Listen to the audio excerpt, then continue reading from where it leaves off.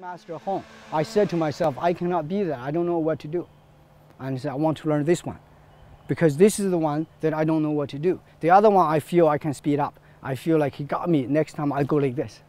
This time because I didn't dodge. But this one, he put it there and he pushes, you look and you don't know what to do.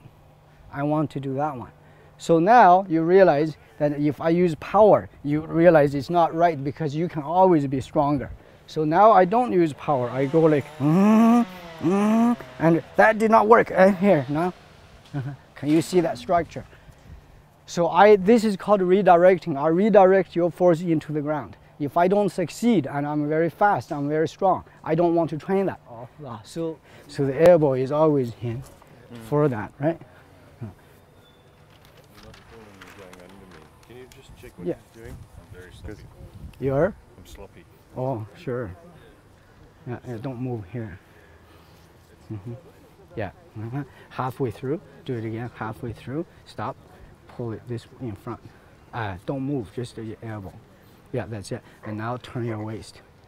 Yeah, this is locked. If you, let's say here, you watch, you push me, you see. See that push, he got my arms, which means he got my upper body. Now see, you got my upper body, you didn't get my lower body.